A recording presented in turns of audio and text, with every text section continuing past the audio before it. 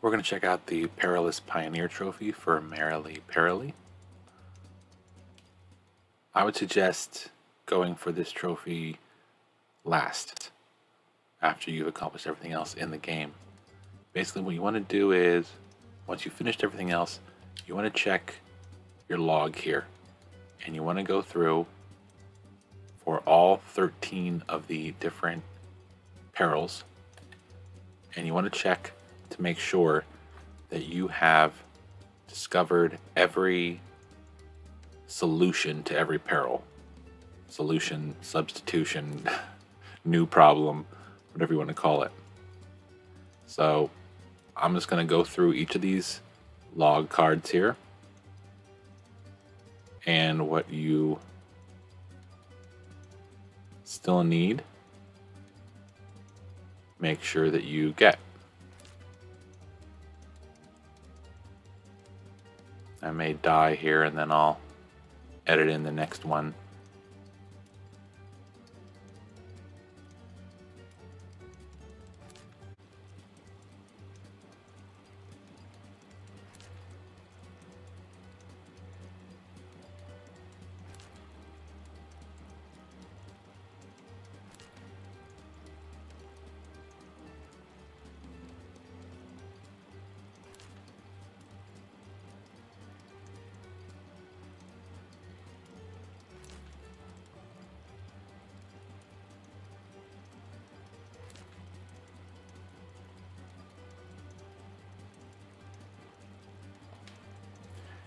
Next we'll take a look at what the trophy looks like once you get the very last log taken care of.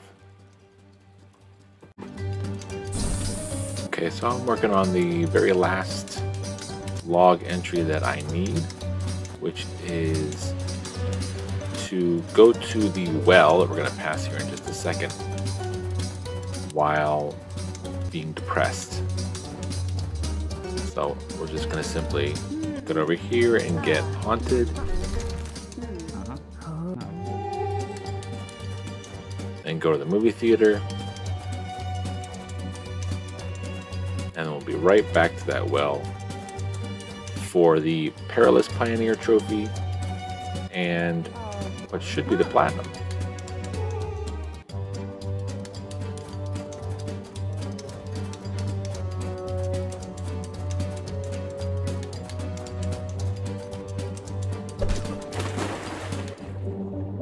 And there's the Perilous Pioneer uh, in-game achievement. And there is the trophy. And there is the Platinum, Platinum Peril. Fantastic.